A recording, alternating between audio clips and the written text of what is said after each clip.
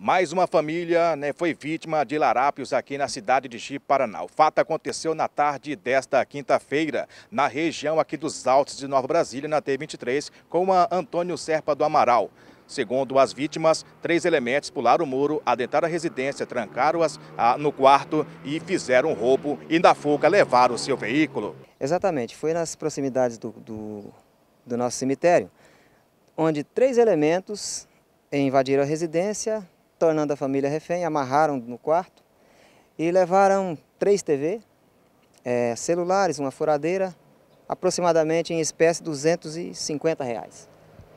E fugiram ah, de posse do veículo da família, que é um Fiat Siena esse, inclusive. É, todas as viaturas foram empenhadas na, na ocorrência para tentar localizar.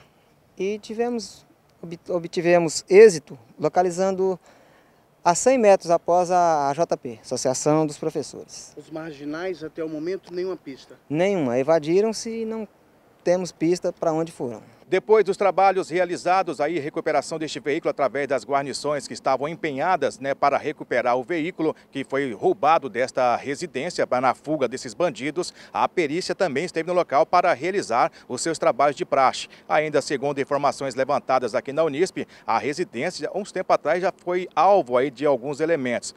Um celular estava sendo é, deixado né, na área da residência para carregar. Uma pessoa adentrou essa residência e levou este celular.